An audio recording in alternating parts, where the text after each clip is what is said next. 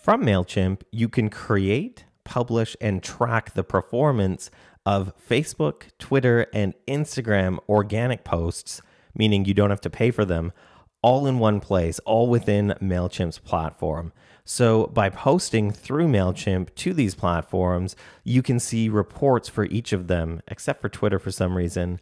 And you can see things like reach and impressions and engagement from Facebook and Instagram. So, let's walk through how to create social media posts from within MailChimp.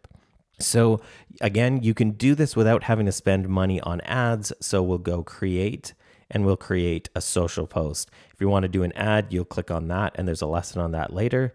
So we'll click social posts, we'll give it a name, do a Chimperoo sale, and now we'll go to social channels.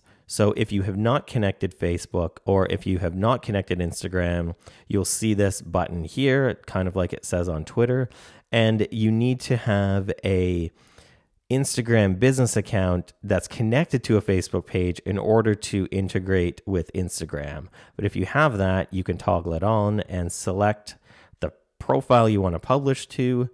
For me, it's Chimperoo with a ton of O's because for some reason somebody's registered Chimperoo with two and three and four O's. Don't know why. And we'll publish it to our Facebook page. So we'll click save.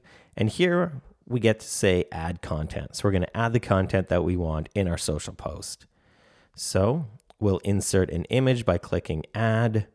I'm going to grab this image, insert it, and then I'm going to go to Instagram and I'm going to click add. And I'm going to add the other image. Depending on the social platform, you will have different sizes. At the bottom of this video, I'll link to MailChimp's page that shows you which size each of your images should be depending on the platform. But this preview looks good for Instagram. This preview looks good for Facebook, so I'll give it a message. So I would put in some content there. So once I've added the content on Facebook, I can copy and paste it or write different content over on Instagram and click save. So now if we look at it on Instagram, here is what it'll look like. If we look at it on Facebook, here's what it'll look like. That all looks pretty good. So I'm going to click publish and I'm going to post it now. So as soon as I click this, it is going to publish it on my Facebook page and my Instagram account. So now that we published it, if we go over to our reports, we'll be able to see the reports for what we just posted. And we're looking at this inside MailChimp, which is actually pretty cool. So we'll be able to see things like total reach, the number of unique people who saw it, total impressions, the people who clicked on it, and then engagement, the people who liked it or shared it or commented on it. And then we'll see engagements and impressions by platform.